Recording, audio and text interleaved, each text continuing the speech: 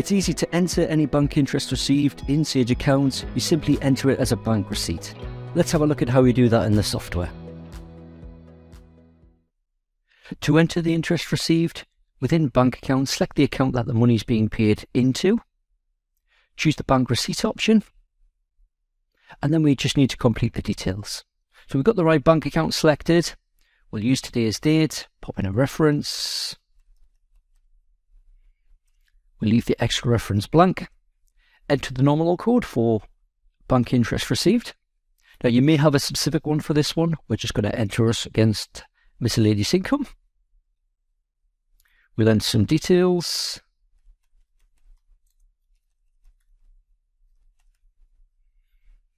And then we'll enter the value. We'll just say £20 in this example.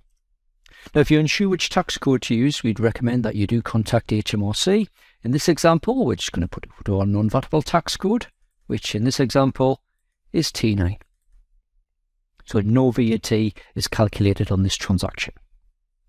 We then save it, and that's it done. We're back to the bank accounts window. The money has now been paid into that account.